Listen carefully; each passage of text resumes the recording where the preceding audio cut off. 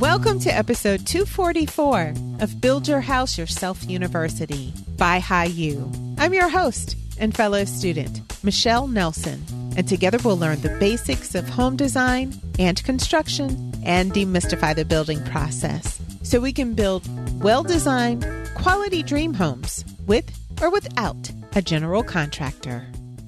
In the last episode, we discussed aging in place features that we can add to our homes that will allow us to live in them comfortably, even if we develop challenges with mobility and coordination as we age. I referred to some designs detailed in this repeat episode called Designing a Forever Home. I wanted to release this show on the heels of the Aging in Place podcast to sort of tie everything together. If you've listened to this episode before, I encourage you to take another listen to remind you of some information you may have forgotten or to simply solidify some concepts that you've already learned. So enjoy the best of BYHYU, designing a forever home. The house that my husband and I are planning to build is our forever house, the first and last house that we'll ever build. At least that's the plan. Eventually, every one of us will either rent, buy, or build our last home. The one that we'll grow old in. The one where our adult children and grandchildren will spend holidays. This week's Quick Tips will give you some ideas about how to design a forever house. The list includes universal design elements, meaning features that will allow anyone of any age or anyone of any level of mobility to enjoy and live in the house. But a forever house shouldn't just be physically accessible to us as we age. It should also accommodate changes in lifestyle, habits, and traditions as we progress from busy working people to retirees. Before we get to the quick tips, big thank yous go out to Jack Money. And I'm calling him Jack Money because the name Jack had a dollar sign before and after it, and also Caleb Barton 303. Thank you both for your awesome ratings and reviews. Jack Money says, whether one is working with a builder or planning to go the owner builder route, this podcast is an essential resource. And Caleb Barton 303, a future tiny house builder, says, This podcast has been a great intro to so many different areas I needed to gain a basic knowledge of. Super thankful for this. Well, I'm super thankful for you, Caleb, and for you, Jack Money, and for everyone who's taken the time to help me out by leaving a rating and a review. Those ratings and reviews show potential listeners that you find the show valuable. If you'd like to help the show by leaving a rating or review, you can actually go to byhyu.com now, B-Y-H-Y-U.com. I've added a subscribe or write a review button that's towards the top of this week's post. Okay, ready for the forever home quick tips? Number one, make climbing stairs an option, not a necessity. I know steps and stairwells can add a lot of architectural interest to the exterior and interior of the home, but steps should be limited in a forever home. First and foremost, make your main entrances step free. Without steps, entering the house is much easier for folks with limited mobility and issues with balance, and for those who might need wheelchairs or walkers. As you get older, so do many of your friends and relatives. Make it easier for them to visit you by eliminating steps at your main front entrance. And don't just make your visitor's entrance step free. Nix any steps of the main family entrance as well. And for most homes, that's usually the entrance from the garage into the house. Next, think about the steps inside the house. You can obviously avoid interior steps altogether by building a one story ranch style house. A second option is to build what I call a bottom heavy house. That's what we're planning to do. Because we prefer the look of a two story house, but the functionality of a one story house, we're going to build a bottom heavy house. All our essential living spaces, including our master suite, will be on the first floor. The second floor will be designated for extra bedrooms and a loungy game room type space where our kids and future grandchildren will hang out. The second floor will be significantly smaller than the first floor, and it will only house spaces that are not essential for daily living. Rooms on the second floor we might choose to go to, but we won't need to go to. You can also build a house with a space that could serve as a future elevator shaft in case you need to install an elevator in the future. Talk to your house designer about aligning closets or other storage spaces. Stack a second floor closet right above a first floor closet, and that space can be converted to an elevator shaft in the future. All right, that first tip wasn't so quick, was it? Let's speed things up a little bit. Number two, install lever door handles instead of knobs. Lever handles are easier to use than knobs, and they're stylish too. Doorknobs can be especially challenged to open for those suffering from arthritis.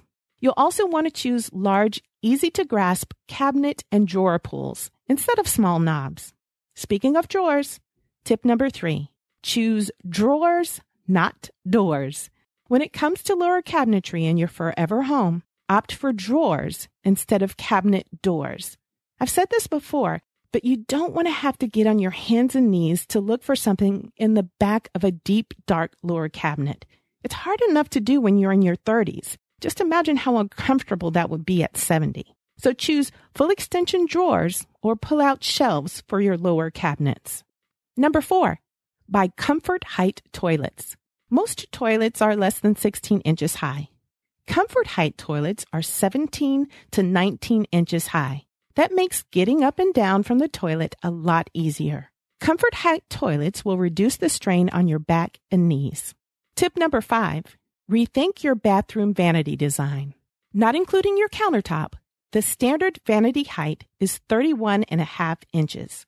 This isn't the most comfortable height for most homeowners. Raising the cabinet height to about 34 and a half inches, or even higher if you're tall, will keep you from having to hunch over to brush your teeth or wash your face. If you and your spouse have two separate vanities, you can even design them with two different heights. You'll also want to think about including some open knee space in the vanity design.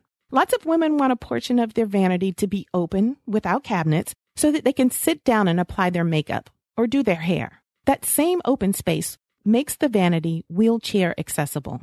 Number six, Choose a curbless shower with easy to clean shower walls. A curbless shower is easy to enter and exit, even for those with limited mobility. Okay, pop quiz. How wide does a shower entrance need to be to accommodate a wheelchair or walker? We talked about that last week in episode 67 called Designing a Perfect Shower. The answer is at least 36 inches. Larger, of course, would be better. To learn more about designing a shower for your forever home, take a listen to last week's episode. Number seven, choose an open floor plan with ample clearance in hallways, walkways, and doorways. Standard halls are about four feet wide. If you expand them to five and a half feet wide, they'll easily accommodate walkers and wheelchairs. 36 inches minimum is what you'll need for most doorways, but wider is better. Universal design dictates that in a U shaped kitchen, at least 60 inches of clearance is needed between cabinets, walls, and appliances. In a galley or pass through type kitchen, you'll need at least 40 inches of clearance. Tip number eight raise your appliances so you'll have less bending and stooping to do. Use two dishwasher drawers on either side of your kitchen cabinet instead of one standard sized dishwasher. That way you don't have to bend over to put dishes in and take dishes out of your dishwasher. Elevate your wall ovens, your washer and dryer, or any appliance that you can raise so that it's more ergonomic. Number nine, make kitchen islands counter height or table height instead of bar height. That way, it's easier and safer for older guests and also younger grandchildren to sit down at the counter. And to be honest, counter and table height islands are much more on trend now than bar height islands. Number 10, invest in a generator, one that can power your house and any essential medical equipment that you might need during a power outage. I'll talk more about generators in a future episode. Number 11, choose non slip, comfortable flooring.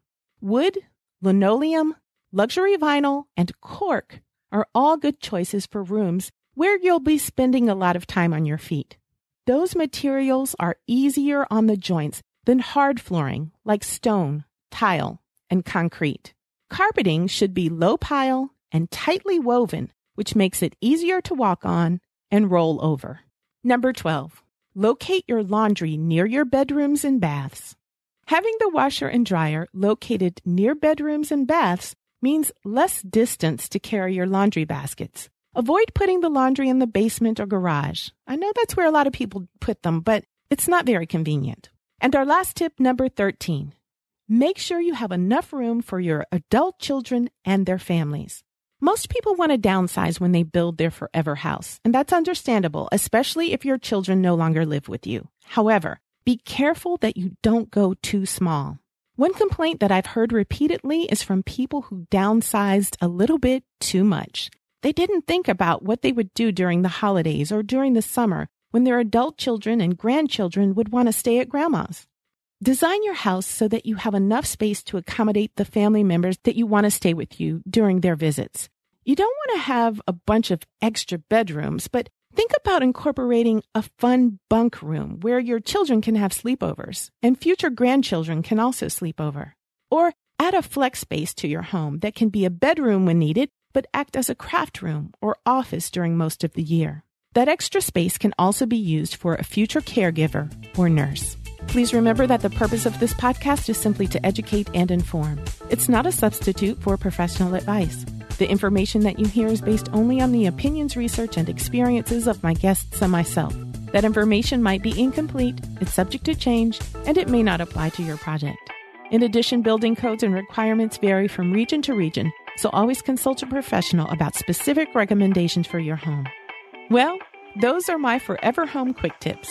I'd love to hear your ideas. What are some forever home ideas that you can think of and add to the list? Leave your tips at byhyu.com in the comments section of this post. Thanks for listening to another episode of Build Your House Yourself University. Let's do it again next week. I'll talk to you later.